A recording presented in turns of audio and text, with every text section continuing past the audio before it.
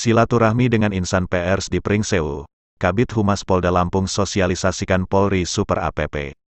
Pringsewu, jejak kasus info, Kepolisian Negara Republik Indonesia, Polri, meluncurkan aplikasi Polri Super APP. Aplikasi ini bertujuan agar masyarakat dapat lebih mudah mendapatkan berbagai layanan kepolisian. Menurut Kabit Humas Polda Lampung Komisaris Besar Polisi Zahwani Pandra Arsyad, pada acara silaturahmi bersama insan pers di pemancingan Ibnu Pandu, Tambah Rejo, Gading Rejo, Pringsewu, Sabtu, tanggal 10 Desember tahun 2022. Aplikasi Polri Super APP ini juga sebagai bentuk realisasi komitmen Polri untuk meningkatkan kualitas pelayanan publik dan mewujudkan pelayanan publik Polri yang terintegrasi, yang merupakan bagian dari 16 program prioritas presisi. Dijelaskan Arsyad, Terdapat 13 layanan kepolisian yang dapat diakses masyarakat melalui aplikasi Polri Super APP ini, yaitu informasi daerah rawan, pengaduan masyarakat, pengurusan SIM, STNK dan SKCK secara online, informasi e-tilang, hingga informasi mengenai pos polisi. Diharapkan dengan adanya aplikasi Polri Super APP yang merupakan penggabungan dari bermacam-macam aplikasi yang sebelumnya terpisah-pisah ini, dapat menjawab kebutuhan masyarakat akan layanan Polri secara lengkap, harapnya. Oleh karena itu, Kabit Humas Polda Lampung mengimbau masyarakat untuk dapat mendownload aplikasi Polri Super App di Play Store dan di App Store bagi para pengguna HP Android maupun smartphone, agar dapat menikmati pelayanan kepolisian dengan lebih mudah. Sementara itu, Kapolres Pringsewu AKBP Rio Cahyowidi mengatakan keakraban dan sinergitas antara Polres Pringsewu dengan media di Kabupaten Pringsewu bukanlah hal baru, karena sudah berlangsung sejak lama. Bahkan, Lanjut Rio, pada acara yang dihadiri Wakapolres Pringsewu Komisaris Polisi Doni Dunggio beserta para pejabat utama kepolisian dan para ketua serta anggota organisasi kewartawanan di bumi jejama secancanan ini, minimal sebulan sekali, pihaknya mengadakan kegiatan bersama insan pers dalam rangka mempererat silaturahmi di antara kepolisian dan wartawan. Kami juga mengucapkan terima kasih kepada Bapak Kabit Humas Polda Lampung yang telah datang ke Kabupaten Pringsewu untuk bersama-sama menjalin tali silaturahmi dan keakraban dengan rekan-rekan media di Kabupaten Pringsewu. Semoga sinergitas antara Polri dan Pers akan semakin terjalin erat, di Provinsi Lampung umumnya dan khususnya di Kabupaten Pringsewu, harapnya. Pada kesempatan tersebut juga digelar lomba menyanyi serta memancing yang diikuti para wartawan Kabupaten Pringsewu juga anggota kepolisian, Bambang Hartono Jejak Kasus Pringsewu Lampung melaporkan. Selamat pagi, salam sejahtera bagi kita semua. Tapi pun yang sama-sama kita hormati uh, Bapak Kapolres Pringsewu, Sewu, Bapak Rio Cahyudi, ya beserta uh, Wakapolres dan seluruh para pejabat utama di lingkungan uh, Polres Pringsewu hari Sabtu tanggal 10 Desember 2022 yang betul disampaikan tadi oleh Pak Kapolres dan juga Pak Ketua PWI puji dan syukur senantiasa kita panjat kepada Allah Subhanahu wa taala.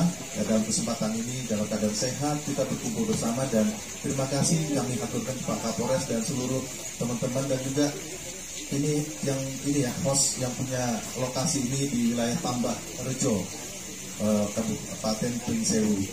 Baik Bapak-bapak, Ibu-ibu dan rekan-rekan mitra semuanya, uh, kehadiran saya di sini artinya menyampaikan salam hormat, salam hangat dari Bapak Kapolda Lampung, Bapak Irjen Pol Ahmad Yagus. Tadi malam saya sudah menyampaikan bahwa kami ada izin ingin silaturahmi dengan seluruh warga masyarakat termasuk juga wartawan yang ada di Prinsewu ini. Baik, eh, saya juga ingin menyampaikan bahwa tadi disampaikan tiga hari ini udah tanggal 10 ya Pak Gus. Berarti kita berapa hari lagi menyongsong tahun baru ini kira-kira? 20 hari lagi. Nah inilah tadi dengan doa kita, dengan membaca doa tadi, kita berharap warga masyarakat Pringsewu yang adem, ayam, tentram dan cukup guyup ya. Kalau memang Jawa bilang ini guyup. Gitu Pak? Ya. nah, saya memang uh, asli sama dengan Pak Rio ini besarnya di Jakarta. Tapi saya melihat begini kayaknya pun saya jadi surprise ya. Kita tepuk tangan dulu lah ini ya. Lokasi ini juga cukup membuat tapi saya jadi rasanya lihat di kota begitu kita menyusuri pintu aduh indahnya betul ini harus kita jaga dulu Baik Bapak-Bapak, Ibu-Ibu, rekan-rekan uh, awak media sekalian, ya 20 hari ke depan kita mengalih pada tahun 2023 tentu kita berdoa bersama dengan tahapan.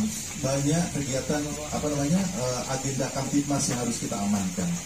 Kita turut prihatin dan menduka yang sangat mendalam dengan adanya kejadian keluarga besar kami dari uh, kepolisian daerah Jawa Barat ya kemarin yang uh, mengalami musibah. Bukan itu saja ada lagi dari Polda Lampung kemarin di Papua. Nah ini menjadi perhatian kita bersama.